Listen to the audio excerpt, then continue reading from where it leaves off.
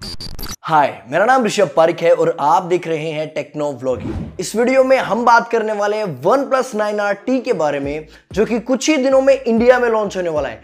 आपको बता दूँ कि यह चाइना में ऑलरेडी लॉन्च हो चुका है और इंडिया में अब इसकी बारी है। ये स्मार्टफ़ोन खासतौर पर चाइना और इंडिया के लिए ही डिजाइंड है। आपको ग्लोबली ये स्मार्टफ़ोन नहीं देखने को मिलेगा। तो अगर आप एक नया स्मार्टफ़ोन खरीदने की सोच रहे हैं और आपको OnePlus nine R T के बारे में पता चला है तो जितनी भी इंफॉर्मेशन आज की डेट में उसके रिगार्डिंग इंटरनेट पर है, वो सब इस वीडियो में आपको देखने को मिलेगी इंक्लूडिंग उसकी लॉन्च डेट और प्राइस के बारे में भी बात करेंगे। तो सबसे पहले ही सबसे इंटरेस्टिंग टॉपिक यानी कि उसकी प्राइस के बारे में मैं बात करता हूँ एक सौ रोम वाला बेस वेरिएंट आपको चालीस हज़ार रुपए के आसपास स्टार्टिंग देखने को मिल सकता है। ये कंफर्म है, उनतालीस हज़ार रुपए हो जाएगा या फिर इकतालीस हज़ार रुपए हो जाएगा, लेकिन ये जो तीन कैटेगरी है, इन्हीं के अंडर इसकी प्राइसिंग जो है, वो स्टार्ट होगी। अब बात करें लॉन्च डेट के बारे में तो देखो, अभी एक हफ़्ते पहले ये चाइना में लॉन्च हुआ है स्मार्टफ़ोन और उम्मीद है कि 15 से लेके 25 दिनों के बीच में वो इंडिया में भी इसे लॉन्च कर देंगे। तो या तो आपको अक्टूबर के एंड में आपको ये स्मार्टफ़ोन देखने को मिल सकता है, या नवंबर के स्टार्टिंग में आपको इंडिया में ये लॉन्च हुआ मिल सकता है। क्या है ऐसा खास OnePlus nine R T में? ये अपग्रेडेड वर्जन है नाइन आर का, जो कि कुछ ही महीनों पहले लॉन्च हुआ था इंडिया में। और इसमें बेसिकली देखो, ज़्यादा मेजर चेंज नहीं है, जो अंतर है वो साफ़ है। इसमें प्रोसेसर बहुत तगड़ा यूज़ किया गया है। Snapdragon triple eight five G processor use किया गया है। फाइव नैनोमीटर बेस्ड ये इसकी की हाईलाइट है। इसी के साथ जो कैमरा है, उसमें भी इंप्रूवमेंट आपको दी गई है। पहले 48 मेगापिक्सल का सोनी का आईएमएक्स सेंसर यूज़ किया जा रहा था। अब उसे 50 मेगापिक्सल का कर दिया गया है। इसके अलावा और ज़्यादा कोई मेजर चेंजेस नहीं है। नाइन आर के स्पेसिफिकेशंस के बारे में बात करने से पहले आपको एक बात ज़रूर बताना चाहूँगा। कि YouTube पर बहुत सारी ऐसी वीडियोस मौजूद हैं जो कि अनबॉक्सिंग बताएँगे, आपको रिव्यू बताएँगे, बहुत सारी चीज़ें बताएँगे।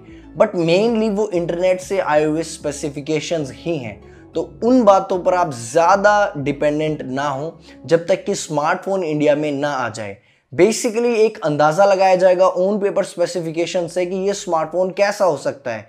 ऑन पेपर ही इसकी कंपैरिजन की जाएगी। जब तक ये स्मार्टफ़ोन मार्केट में नहीं आ जाता और जो रिव्यूअर्स हैं, वो यानी कि मेरे जैसे लोग जो है, इसे अनबॉक्स करके चेक नहीं करते रिव्यू नहीं करते कंपेयर नहीं करते, तब तक ज़्यादा कुछ कहा नहीं जा सकता क्योंकि practical life is practical life OnePlus nine R T जो है वन प्लस नाइन आर का ही बड़ा भाई है। बस एक आँख का फ़र्क है। जैसे आईफोन में जो कैमरा लेंसेज है, उनको ऐसे टेढ़ा करके, तिरछा करके लगा दिया गया है वहीं बस कैमरा में ही थोड़ी सी डिज़ाइन को ट्वीक कर दिया गया है और बना दिया गया OnePlus nine R T OnePlus nine R T में एक स्पेशल एडिशन भी देखा जा सकता है। शायद उसे स्पेशल एडिशन में लाया जाए या नहीं लाया जाए, इसका नहीं पता, लेकिन जो टेक्सचर है, वो चारकोल के टेक्सचर वाला, अच्छी ग्रिप वाला एक वर्जन आ सकता है इंडिया में। उसका देखते हैं वो लॉन्च होगा या नहीं होगा, ये कंफर्म नहीं है बट अगर होता है तो वो ज़रूर आप उस मतलब टॉप प्रायोरिटी पे रख सकते हैं वो वर्जन तो डिज़ाइन के बारे में ज़्यादा कुछ ऐसा कहा नहीं जा सकता, लेकिन एक खास बात जो मैं OnePlus nine R T के बारे में बताना चाहूँगा, जो वेट डिस्ट्रीब्यूशन है, वो वन इज़ टू वन है। यानी कि पूरा जो वेट है, वो समतल है। ऐसा नहीं है कि लोअर बॉडी में ज़्यादा वेट है अपर बॉडी में कम कर दिया गया। तो वेट डिस्ट्रीब्यूशन का यहाँ पर बहुत ही कमाल ध्यान रखा गया है, और वेट इसमें 200 ग्राम है, जो कि लगभग सारे फ्लैगशिप स्मार्टफोन्स का होता है आजकल की परफॉर्मेंस यस परफॉर्मेंस बहुत मतलब डिपेंडेंट रहते हैं आदमी परफॉर्मेंस के ऊपर। एक स्मार्टफ़ोन की परफॉर्मेंस अच्छी है तो मतलब सब कुछ अच्छा है। ऑलमोस्ट सब कुछ अच्छा है।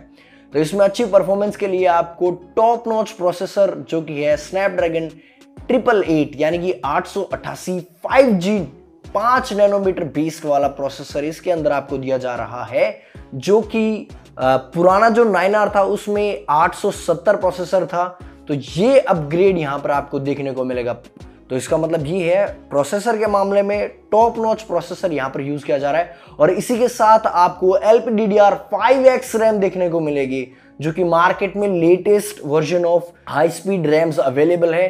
तो रैम की भी क्वालिटी काफ़ी अच्छी आपको यहाँ देखने को मिल रही है। बात करें इंटरनल स्टोरेज की तो यूएफएस 3.1 स्टोरेज देखने को मिलेगा, जो कि एप्स में स्विचिंग वगैरह data transferring read and write speed को अल्टीमेट इंप्रूव एंड सिक्योर बनाता है। तो ये भी अच्छी बात है, जो स्टोरेज की क्वालिटी है, वो भी यहाँ पर आपको काफ़ी दमदार देखने को मिलेगी। अब कुछ लोगों को मैं बता दूँ, जो कि इसे कंपेयर कर रहे थे रियलमी का जी टी नियो टू है, उससे तो यहाँ पर रैम जो जी टी नियो टू में यूज़ की जा रही है, वो L P D D R four X RAM है। फाइव नहीं है।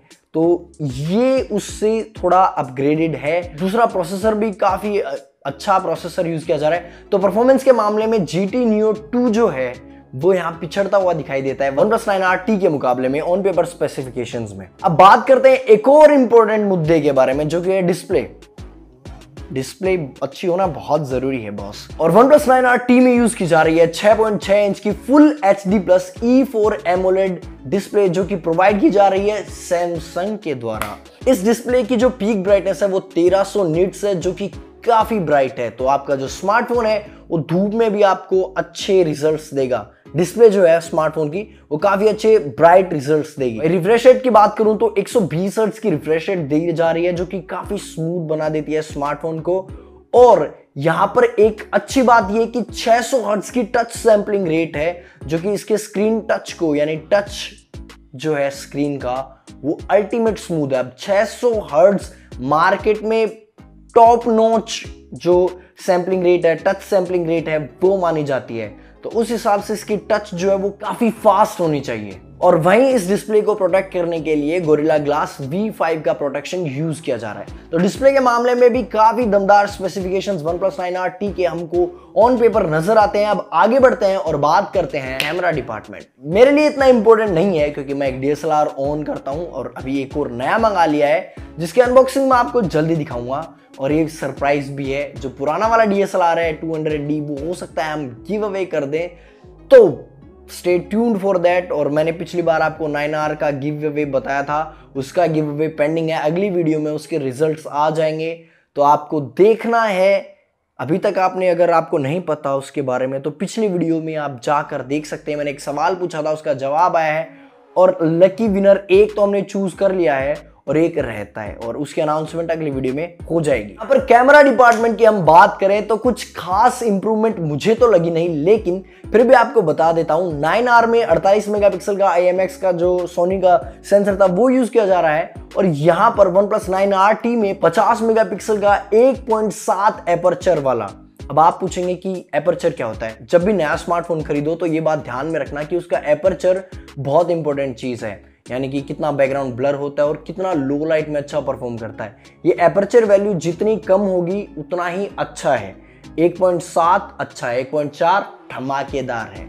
2.2 हाँ। समझ गए होगे। तो उसी हिसाब से एपर्चर का ध्यान रखना। आप जब भी कोई नया स्मार्टफ़ोन खरीदें कि उसकी जो 50 मेगापिक्सल यहाँ पर प्राइमरी लेंस है उसमें 1.7 एपर्चर यहाँ पर OnePlus nine R T में है। आगे बढ़ते हैं और अल्ट्रा वाइड लेंस जो है 16 मेगापिक्सल का है। और उसका एपरेचर 2.2 है। समझ ही गए होंगे कि अल्ट्रा वाइड लेंस के रिज़ल्ट इतने अच्छे नहीं आएँगे। उसके बाद में 2 मेगापिक्सल का यहाँ पर मैक्रो लेंस दिया जा रहा है, जो कि सिर्फ़ नाम का है। इंपॉर्टेंट चीज़ और बताना चाहूँगा यहाँ पर आपको ई e और OIS यानी इलेक्ट्रॉनिकल इमेज स्टेबलाइजेशन और ऑप्टिकल इमेज स्टेबलाइजेशन दोनों ही दी जाती हैं, जो कि इसे अच्छा बनाती है। मतलब जो वीडियोस आप बनाएँगे वो काफ़ी स्मूथ होने वाले हैं। काफ़ी स्मूथ होने वाले मतलब अच्छा रिज़ल्ट आएगा। इतना अच्छा एक्सपेक्टेशन मत रखना, लेकिन अच्छा रिज़ल्ट आएगा। सेल्फी के लिए 16 मेगापिक्सल का सेल्फी शूटर दिया गया, जिससे आप सेल्फी ले सकते हैं चिकने चिकने स्मूथ बैटरी कंपार्टमेंट के बारे में बात करें तो यहाँ पर 4500 सौ की बैटरी दी जाती है, जिसे आप पैंसठ वोट के फास्ट चार्जिंग ब्रिक के साथ चार्ज कर सकते हैं। काफ़ी जल्दी चार्ज हो जाएगा। टाइप सी पोर्ट है।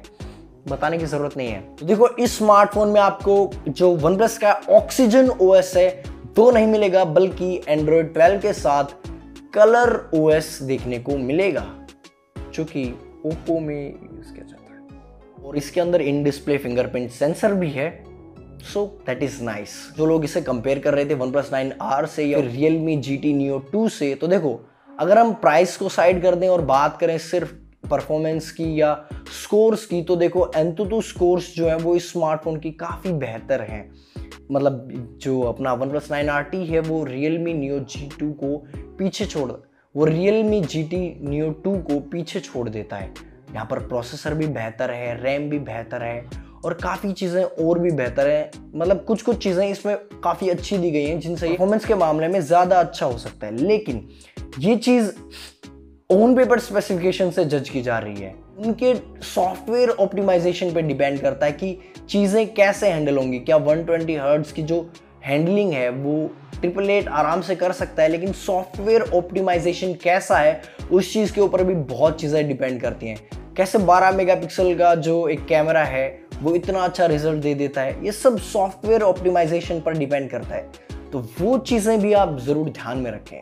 उम्मीद करता हूँ ये वीडियो आपके लिए काफ़ी हेल्पफुल होगी। जितनी भी information OnePlus nine R T के रिगार्डिंग इंटरनेट पर मौजूद थी आज की डेट में, मैंने सारी कलेक्ट करके आपको इस वीडियो में प्रोवाइड करवाई है। इस वीडियो को बनाने में काफ़ी मेहनत लगी है तो बस आपको एक लाइक करना है, जिससे मेरा मोटिवेशन अच्छा बना रहेगा और मैं ऐसे ही मेहनत करता रहूँगा। इस वीडियो को यहाँ तक देखने के लिए आपका धन्यवाद। मिलते हैं अगली वीडियो में। Till then bye bye